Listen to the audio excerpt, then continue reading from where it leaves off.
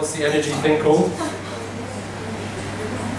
2,400 volts. It's low. You've got low energy apparently to sit there, so you should sit here. It's fine. This one is a bit High high, energy. 3,200. So I'm going to have more energy than you. So how many, how many, just out of interest, how many people in this room are involved in art or design or fashion in any way? How many? One, two, not sure.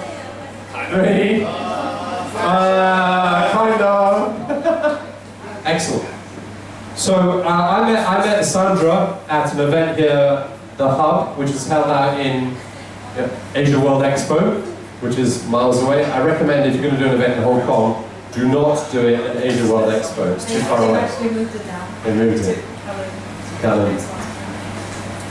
So uh, Sandra has uh, done something quite brave. So let, us get, tell me a little bit about. There you go. Good timing. Your energy level is going to go up after this. Yeah. 6,000, 7,000, 8,000, oh, 9,000? So tell us, you, you, you originally came here as a, as a banker, correct? Yes. But you're Um, Swedish. I thought Swedish Swedish. people were all kind of natural and, you know, into, into skiing and nature and stuff like. Yes, we are, but everyone needs to make a living, and uh, yeah, no. So I actually um, I started my sort of career in Asia um, being a student in Singapore. Actually, I was on an exchange program from a university in Stockholm, and I did six months in Singapore. And um, just about when I was supposed to, to go home, I uh, got a call from a man that I had been in contact with in Stockholm who worked at the French bank Calyon who said to me, called me one day, said, Sandra, how, uh, how are you liking Asia so far? I said, yeah, I love it. Great, because you're going to stay. Yeah? Okay. And he said, why don't I'm moving to Hong Kong. Why don't you come and do an internship for me in, in Hong Kong? So you did, you worked in a, in a bank for how long? Um, about a year, and then I switched jobs a couple of times. But I was in finance for about five years. So what was the trigger that goes, oh, I don't know, I want to do my own business? Um, I mean, the, the financial sort of meltdown and crisis obviously uh, took its toll on everyone. And You're talking uh, about 2008 or yeah, sort of around that time. And you know, after having changed jobs about three times, gradually going from what I really enjoyed doing, was equity derivatives, sort of sales and, and structuring, to down to being a broker, which I didn't like at all. I just decided that you know I had enough. It wasn't very inspiring. It wasn't very fulfilling on a soul level, if you want to call it that.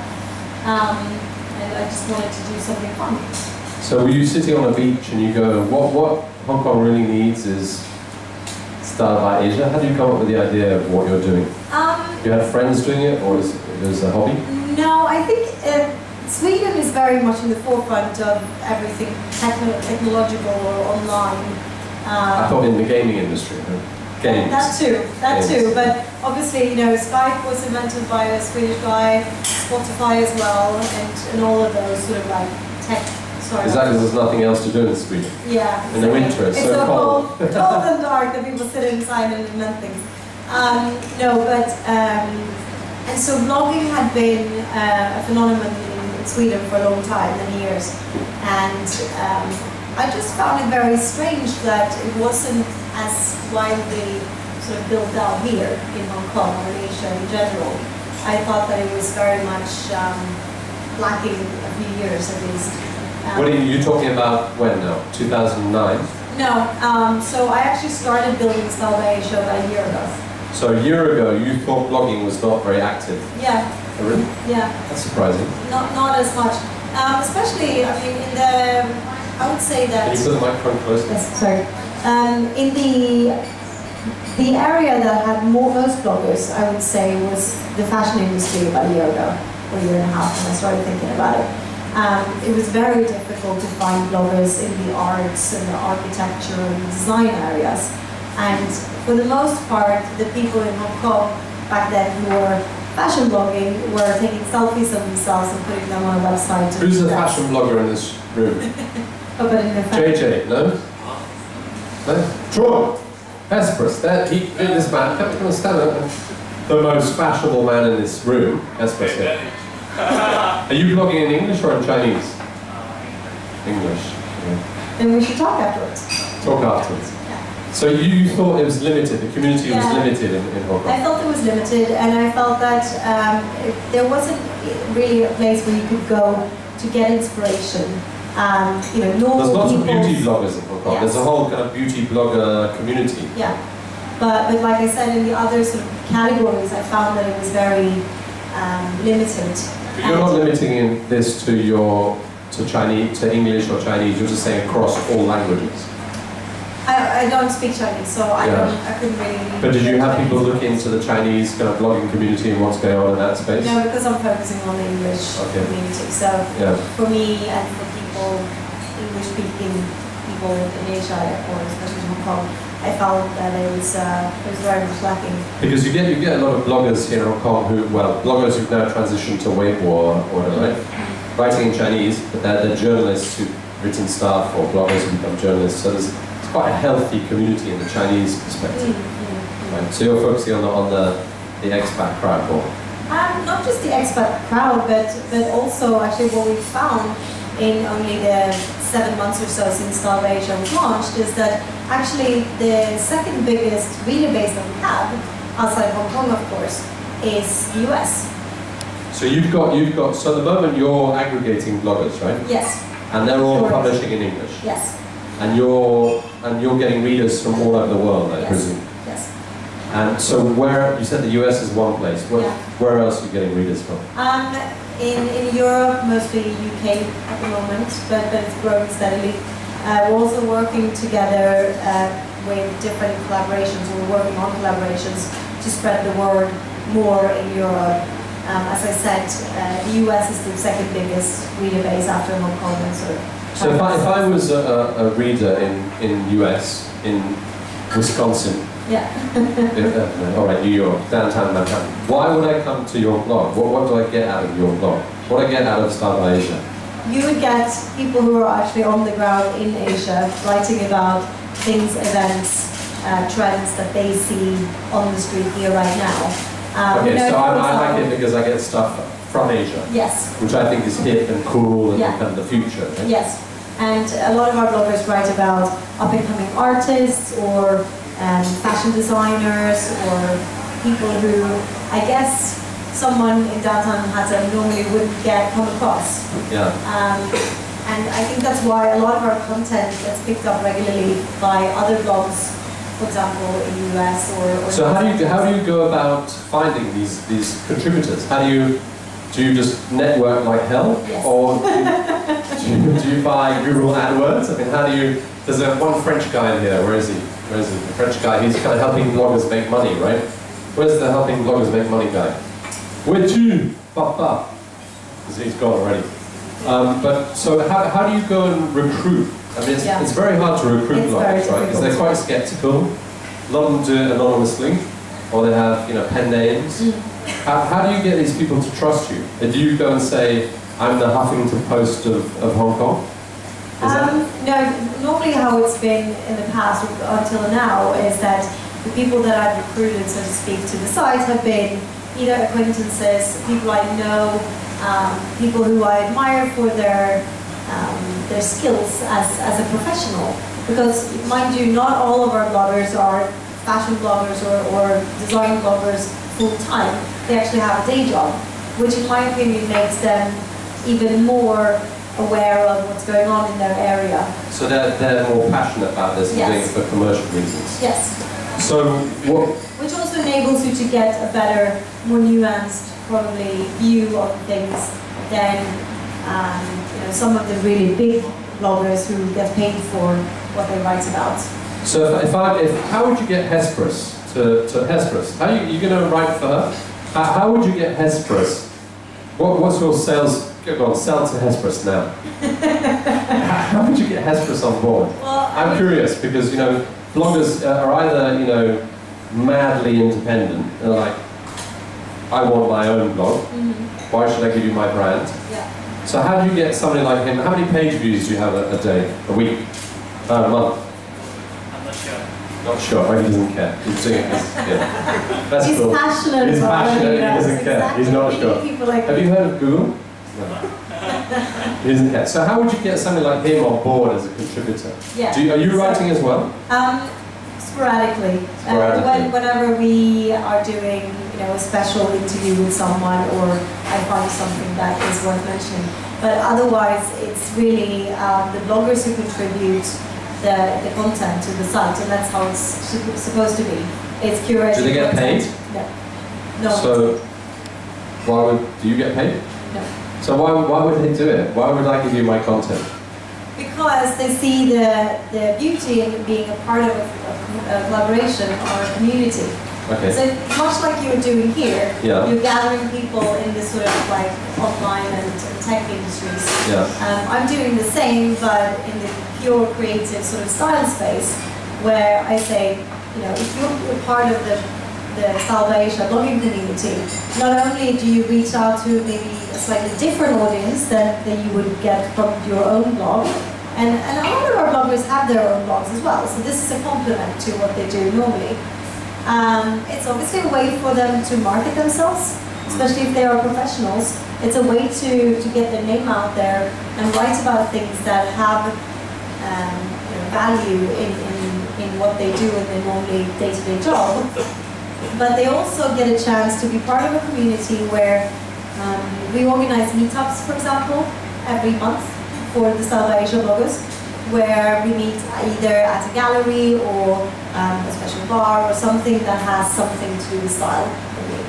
And we offer them drinks, obviously everyone likes a glass of wine, um, so they can have a glass of wine and they can talk about like talk with like-minded people, people who are also in the creative industries, and share their insights and inspirations and ideas. And a lot of the times, actually, it has come to really fruitful uh, new collaborations between the bloggers themselves. Um, you know, one one particular one that springs to mind is um, we had one fashion blogger who was um, sort of a stylist who then started collaborating with two of our photographers and they actually did a photo shoot together where he was styling and they were photographing. So those sort of things are very valuable, I think, to a blogger. So obviously the reach, I mean, especially the global reach. before you set up Style by Asia, Yeah. how were these people, you know, collaborating or finding each other? Were they? Was I don't Facebook? Were they using Facebook? Were they? I can't imagine them using LinkedIn. No, I don't think so. no, I so, don't know. so what were they doing? They, they were hanging out on street corners. What, what, what, how were they getting to know each other? I actually don't know. I think it, it was very difficult for them. That's, that's the feedback that I've gotten is that one of the, the biggest um, benefits that they see actually being a part of by Asia is to meet other people. Because um, if you're an artist, it can be quite a lonely job, for example. So this is a chance that they know that every month they get to go out. I thought artists like to be lonely because you can be emotional. My dad's an artist.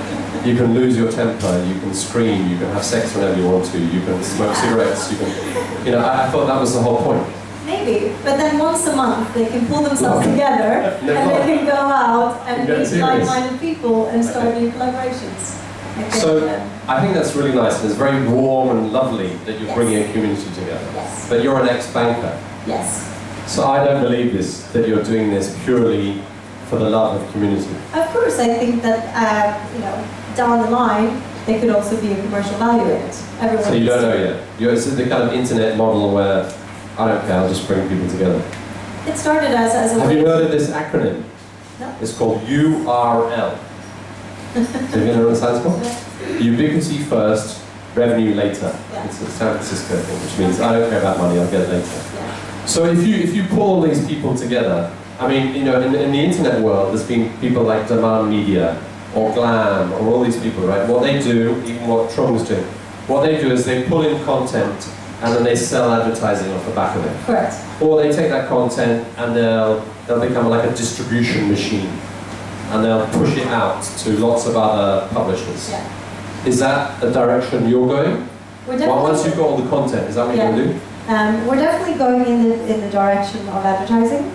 Um, as you say, uh, we need to make money somehow um, in order to also sustain the website and everything. Um, I don't believe, personally, I don't believe in banner advertising. So that's probably something that you'll never see on Style by Asia ever, hopefully. Um, what I'm interested in doing is more sort of the editorial uh, way of doing things, posting interesting videos. It's all about giving the readers, at the end of the day, to give the readers um, value. Even if it's an, an advert, it needs to bring value. Um, But that's a good point because the whole uh, advertising marketing industry is moving into this kind of content marketing thing. The only problem with it is it's very time consuming to create nice videos. Most advertising people I know are lazy. or they're worked off their butts, right? So they can't be bothered to make uh, uh, you know, an ad that does something unusual. They just want an animated GIF that's, you know, this by this, right? Yeah. If you ask them to stand outside of that, like, oh, too much trouble. come on," You know, so Well, I understand, I understand what you're saying, but there's a huge industry there which But is set in its ways. They're very set in their ways. So to get them to say, hey, look, you know, make a cool video, you'll find unique pockets. I'm not saying it's not there, but there's unique pockets of Yeah. people doing that. Well, well, the website is built in a way that we can, we can put up, obviously. The, the website's very visual for those of you who haven't checked it out yet. All right, who, who has seen, who has visited styleByAsia.com, right? Yeah.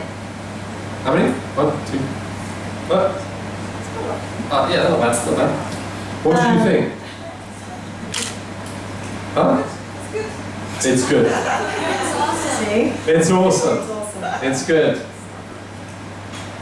I'm a bit skewed because I prefer my website. Yeah, he, you're not working anymore. You've left the office. Sorry. So, so yeah, so so so your website, right? So you're putting the goal is bring people in, show them that Asia has a lot going on. Yes. In, do you find a particular type of content that is more attractive than others?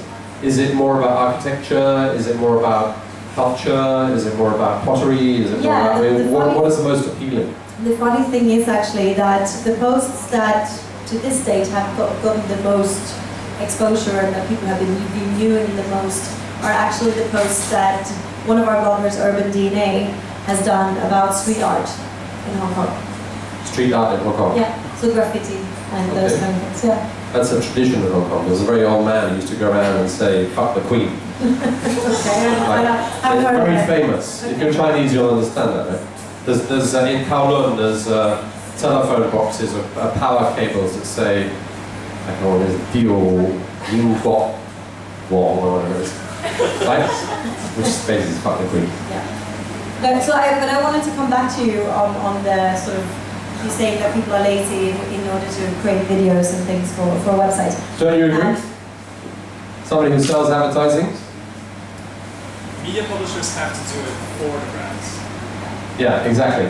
Well, so if you're a publisher, you have to do it for a brand. Well, in my opinion, um, we're probably looking to collaborate with and take in advertisements for from brands who are those brands, who make the extra effort to do something different, who are stylish, and those are the ones that we want to work with. We will not be taking in advertisement from Ford So have you... they don't. They don't. That's a good point. That's good. So have you found anybody? What's give us an example? Who would be a good example of that? Is it somebody like Burberry? Is it somebody a little bit kind of up and coming, kind of funky Yeah, brands? Who, who is it? Uh, for videos, I would say it's more probably up and coming funky, maybe street brands, or um, it could also be more established brands, but that, that have decided to try on a different type of advertising. In terms of editorials and writing, um, you know, articles about brands, um, I normally bring up the, the example of W Hotels, for example, which to me is a prime example of someone that we would be working with because they have a very clear style statement in their hotels. So that's something for me where I could, uh, we could be posting, for example, an interview where they talk about why um, why style is so important to them and to their brand, and you know, that's something that gives value to the reader because you get to read about interior design or architecture. So are you are you sourcing art and culture from across Asia? I mean, are you Yes. going all the way up to Japan and Korea? Yes, Because you know, in this part of the world, Japan and Korea tend to lead a lot of those ideas. I mean, they do. K-pop or Japan architecture or whatever. So are you getting a lot of the street art and stuff out of those countries? Or are you looking at Southeast Asia? Or Up what? until now, Style by Asia has had bloggers who are solely based in Hong Kong. They are all free to write about anything which is Asia related. Um, but obviously it becomes quite Hong Kong centric uh, for people who live there unless they go traveling to those places. Um, recently we have been taking on bloggers from outside Hong Kong though. So we have one new blogger in Beijing who did a fantastic job of covering the China Fashion Week for us up there. In English. Yes, in English. So you're not translating Chinese blogs? No, no. Um, and uh, we're currently talking to people in Seoul, uh, Singapore, Bangkok, in order to try to bring more of, of the So Asian the, the, the fashion world is, is getting, being shaken up in Asia at the moment because of companies like Zalora, Yeah. ASOS, all these you know big uh, e-commerce companies are coming into this part of the world, and they're saying, right, I want to sell stuff, but I also want to have content. So are you competing when you talk to these bloggers? Are you competing with the ASOSs and the ASOSs? Sorry, sausage. The ASOS and the Zaloras of this world, who are saying, look, I want soft content to bring people to my site. Is, is that? Do you see a lot of competition from them? Um, no, not really, because to them, their web shop or their online shop is their main focus, right? And then they they're trying to bring content in to keep their their shoppers loyal to their site. So it's more like a sidetrack to them. We're doing it the complete other way around. We're building everything on content, and then you know we'll see what happens in the future and which way we branch out. But um, we're, we're focusing very much on the content, and I think that's. Do you think you will do what a lot of online people do, is which they, they turn from being a, a web magazine to a print magazine? No, No? I don't think so. Um, because Or an iPad app or something like that? Would you move into that could space? potentially do an app in the future, for sure. But, but I think the, the beauty with Style by Asia is that someone goes out on the street and they see, for example, a graffiti. And they snap a couple of pictures of it, they go home, they write a blog post about it, and it's up on, this, on the site the same night or the next day. When you have a print magazine or print edition, the lead times just become so long that the, the actual news or, or the worth of, of what you're writing about almost, you know, halves or. So, and, and how are you, is it WordPress? What was the technology you're using behind it? Yes, uh, the, the site is built on WordPress. Okay. um, just to make it easy for the bloggers to blog, because a lot of the bloggers have blogs themselves where which are built on, on WordPress. So when I started thinking about the concept, I wanted to make everything as easy for everyone as possible. So I chose WordPress just so that people would recognize and be familiar with it. Then obviously there's been a lot of development um, to make it into what it is right now. And is it mobile friendly? yes. So you're, if you're in your kind of space, you, you're all over uh, Pinterest, Weibo, etc. Are you finding these kind of tools useful? Instagram, are they? Are are you finding they do much for you, or is it just sharing pretty pictures?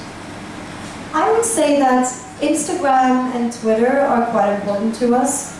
Um, Facebook was, and we're using it less and less because it just doesn't reach the people that we want to reach because of how Facebook has changed their So you're not paying, algorithm. you don't. definitely not. Okay. So you're ditching Facebook for Yeah, Instagram. yeah, and. Twitter. Um, I mean, I, I tend to use our social media channels and networks in different ways. So we are sharing content, different content on different social media platforms, which I think it's the way it So, should so give us an example. What would you put on Instagram that you wouldn't put on Facebook or Twitter? So for Web Wednesday, for example, just before we started the talk, I posted a, a picture of me here up on the stage um, wearing this pretty dress and uh, just saying, you know, really excited for the event tonight, come down to Club 18, we're starting in half an hour. Um, and whereas earlier in the day, I posted on Twitter, obviously tagging you, yeah. and saying, you know, um, again, come down to Club 18, we're talking with Web Wednesday today. But it's too, it's too, it's the same, the content is the same, the core of it is the same, but how you communicate it is differently. So obviously Instagram is much more for pictures and, What about videos? You've got your video lady over here, right? yes. Waving nicely. What, so, so uh, are you moving into, I mean, given the nature of the content, Yeah. you know, everybody wants to see pictures and moving pictures and stuff. Yes. So is that becoming the big thing, the, the video? Is that, Yeah. are you driving more and more video? Yes. Would you migrate to being like a YouTube channel? We launched one this last week. Oh, you did? Yes. Congratulations. Thank you. How many views have you had? I don't know, not many probably, Not because many. we, we, we just started. We don't have a lot of. I had, I had the guy from YouTube here once, and there was a, a young girl from America, 16 years old, mm-hmm. Who would every day, every week would put out a program about, you know, her fashion and lipstick. She was making 30,000 US dollars a month Yeah. just from YouTube. Yeah. So you might want to migrate to YouTube, then make it a good one. So Yeah, so is it? I mean, it seems be to me. doing it's- on Shouldn't you be more in the multimedia? It, it seems to me it's, it's a, you know, if you stay in the blog world, you're kind of stuck to, you know, words and it's in English, and you know we're not in an English environment really. Mhm. Uh, shouldn't it be better to move into the, the video world? Is that not like a, a, a much Well, that, bigger that's the transition? thing. Um, by Asia and the way that it's built is very much, it's a, like I said, it's a very visual site. Um, the fr- front page when you come into it is a big mosaic of images or videos. Um, and it's very video friendly. So we can actually repost from our YouTube channel directly into Style by Asia. So it's a good complement. But I don't see that we're going to be moving only into um, to YouTube, but it's going to be rather a complement to um, to the site. Because in your space, there's very few people who um, do video coverage of what's happening in Yeah. Asia, right? They'll Yeah. do it country by country, and they'll do it, you know, maybe China, Shanghai, whatever. But there's very few people covering the whole region. Yeah. It's always a challenge in, in, in this part of the world. If you're Asia and Hong Kong, right? It's kind of weird. So in your, in your, when you set up this business, did you bring in partners, or you just went, fuck it, I'll do it by myself? Yeah, I've done it by myself. You've done it by yourself. Don't you think you need partners? Um, I'm not pitching you. I'm just saying don't you you need partners. No, I mean to some extent, obviously, it's always nice to um, have someone to share ideas with and see what do you think about this. Um, I've been very lucky to have great mentors. So you've got like a board, or you've got mentors, but as in I- I've people you have coffee with, Yes, exactly. People I have coffee with. non-executive directors. Yeah, the best ones. Um, a very good friend of mine is one of the co-founders of Lifestyle Asia. So he's been mentoring me a lot in like. And do you find Hong Kong is a good place to set up a business? Definitely. Why? Definitely. No, because I think, as you can see here tonight, we have a very mixed crowd, even though Yeah. you say that it's not the normal crowd. Yeah. Um, people are very much into networking. People are very open to meeting new people. I have said that actually on, several occasions that if I would have been setting up Style Asia in Sweden, for example, it would have been much, much more difficult. Not only because it's much more difficult to start an actual company there, and you have all the corporate tax and all that stuff, but also that people are not as much into networking and meeting new people and sharing and helping each other. Because I think that there's a very big you know, people have big hearts here and people like to help. Uh, there are a lot of entrepreneurs here and I find that people are very willing to spread the word and connect and, oh, but I know someone you should talk to. I, have a friend, he's a, he's a designer, you should talk to him, maybe he wants to blog for you. And you asked before how I, how I meet my, my bloggers. It's very much through that. But at some stage, you have to go, I need to raise money, right? Yes. You're going to go, right, okay, I can't do this all by myself. So at some stage, you have to go out there and you have to, you know, knock on doors and say, here's my business plan, Mhm. and raise money. So is that happening now? No. No? So when does that happen? I don't know, when I You run out of money maybe? Are you really an ex-banker? so, I'm curious because every, you know, in, in Hong Kong it's to a stage where you, you know you do it as a kind of hobby, then it becomes a real business, right? And the, the real business, you start to say, wow, I, you know, I've got costs, I've got people, I've got. So when does that happen? Um, yeah, I can't tell you exactly tell when you. it's going to happen. Um, obviously, it will happen when I would say probably at a stage when, when we've grown so much, we've taken on so many bloggers, we're um, branching out to other countries and other cities, which is the, goal. The goal is for Style by Asia to be, um, you know, there will be a Hong Kong Style by Asia, there will be a Singapore one, there will be a Shanghai one, and a Beijing one, and a Seoul one. So who, who would you, if you start spreading into other cities, who would you see as a competitor? Would it be like local Yes. editions, Um, or to- to is it local? extent- Is it local bloggers getting together who are then sort of forming their own it community?